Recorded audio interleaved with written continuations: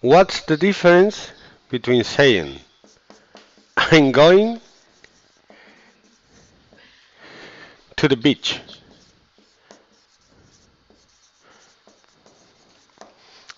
and I will go to the beach? Go to the beach. I will go to the beach. What's the difference? In the first one, the present continuous means a future thing that we have planned to do. This planned. ¿Ok? Tienes planes de hacer algo. Voy a ir a la playa. Antes te prepara. And here, with the future, with the will, you're saying that you decide at the moment. Okay? So they can ask you, what are you going to do?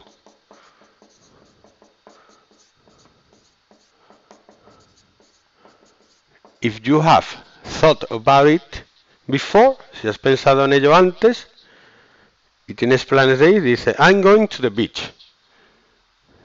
But if you have not planned what you have to do and you decide at the time, you say, I will go to the beach. What can we do?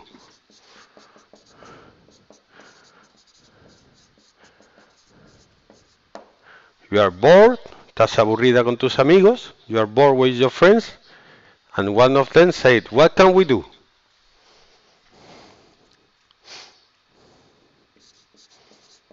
And one of them say, We'll go to the cinema.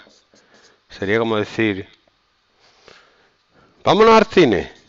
Iremos al cine. Bien. Here it's not planned. This one is from here. ¿Mm? Eh,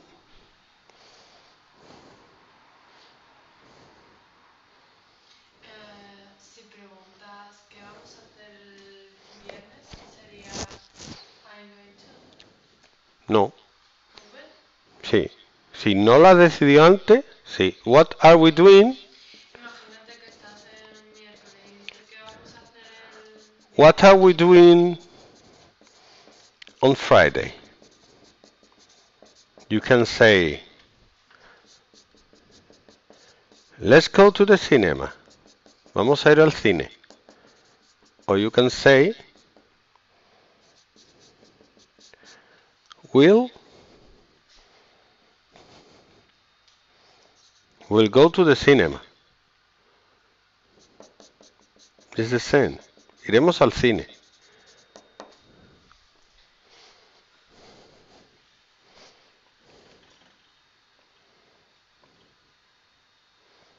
And when, when you have decided, you call another friend of yours. Después de haberlo decidido, llamas a un amigo tuyo y le dices, we're going to the cinema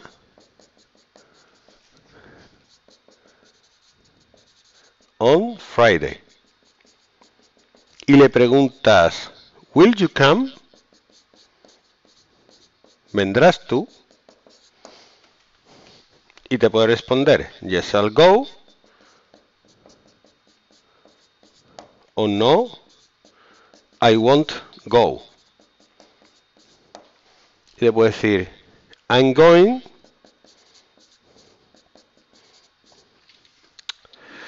to